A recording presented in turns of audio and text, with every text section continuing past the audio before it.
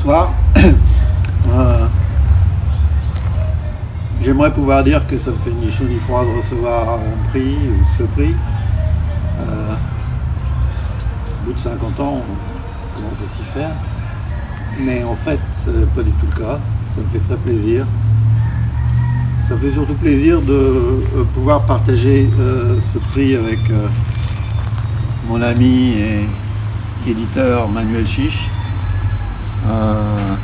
C'est sa maquette, c'est son pognon, euh, donc c'est aussi son livre et aussi c'est son prix.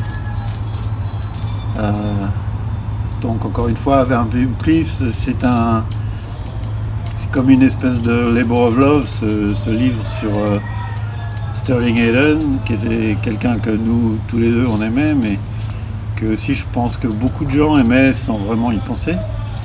Et, donc voilà, on, on est contents tous les deux.